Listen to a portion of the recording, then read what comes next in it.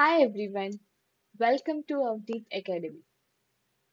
In today's class, we'll solve a 15 marks problem on operating cost sheet, that is preparing the operating cost sheet of transport undertakings.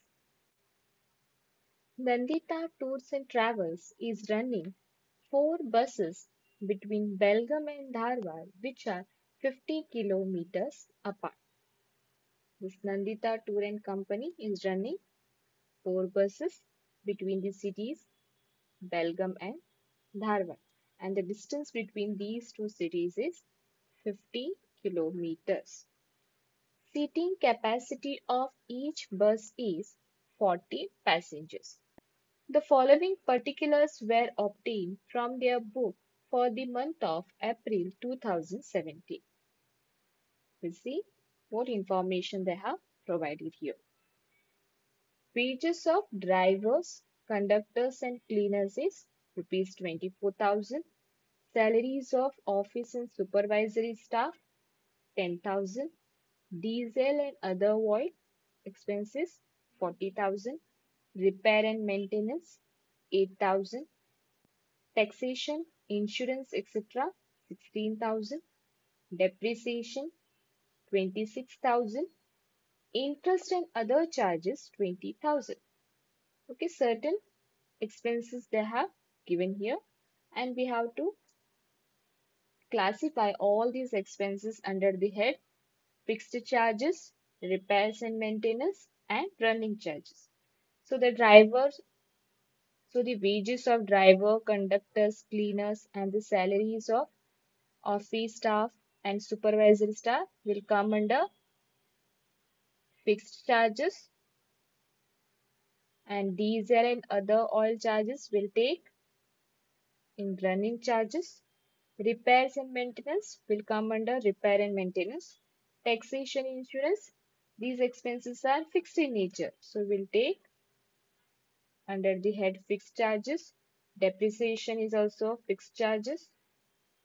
And interest and other charges will take under the head fixed charges. Okay, the expenses which are fixed in nature. For example, salary, taxation, insurance premium, depreciation, interest, all these things will take under the head fixed charges or standing charges. Clear all these expenses? Bus is not 100% occupied. It is 80% occupied. All the four buses run all the days of the month. Each bus made two round trips per day. Find out cost per passenger kilometer. Okay, the buses all the buses runs all the days of the month and each bus have made two round trips. Whenever they mention two round trips, then you have to take the double. The number of trips you will take 4, not 2. Because here they have mentioned two round trips. Two round trips mean double we have to take. So number of trips are 4 trips. Clear this point? And we have to find out cost per passenger kilometer. So we'll start the solution. Solution heading is operating cost sheet and the columns are particulars and total cost. So the first heading is as you know the expenses are classified into three categories. Number one fixed charges or standing charges. Second one is repairs and maintenance and third is running charges. So first we'll take fixed charges or standing charges. So in fixed charges what we have to take? Wages of drivers, conductors and cleaners. So we'll write here wages of drivers, conductors and cleaners and the amount is 24,000. Right here 24,000.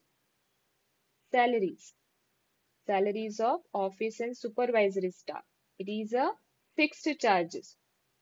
So we'll write here salary of office and supervisory staff amount is 10,000. Diesel, this is come under running charges. Repair under the head repair and maintenance. Next is taxation and insurance.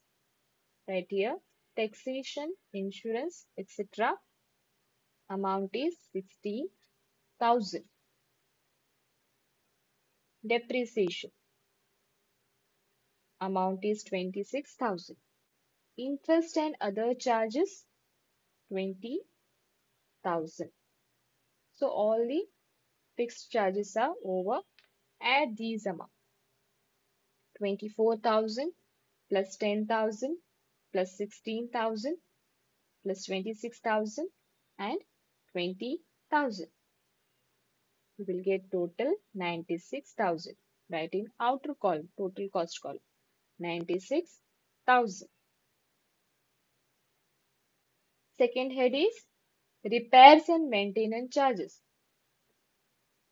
Only one item is there. So take here directly repair and maintenance amount 8000.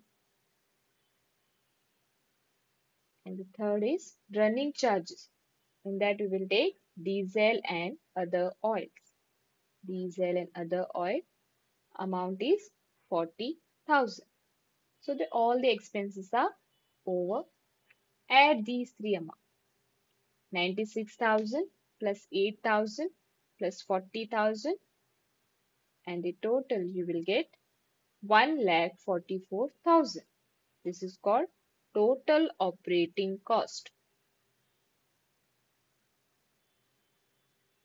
We have to calculate cost per passenger kilometer. Okay. Yes, now we have got total operating cost. So next we'll calculate the cost per passenger kilometer.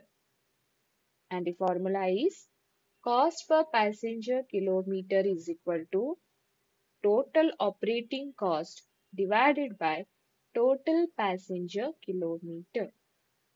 Total operating cost just we have calculated that is 1 lakh 44,000. So we'll write here 1 lakh 44,000. Total passenger kilometer how will get this amount?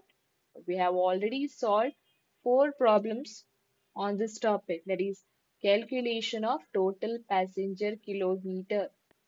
And the formula is total passenger kilometer is equal to number of buses into distance into trips into number of seats into number of days into percentage of occupancy. Okay, this Nandita Tours and Travels is running how many buses? Four buses. So we'll write number of buses 4 into distance. Distance between Belgaum to Dharwad is 50 kilometers. So the distance 50 kilometers into trips. See the last line. Each bus made two trips, two round trips per day two round trips means each bus has made four trips. Okay. Don't take here two trips. Two round trips they have mentioned here. So we'll take the double. If they have mentioned three round trips, then you have to take six. So in current problem, they have mentioned two round trips.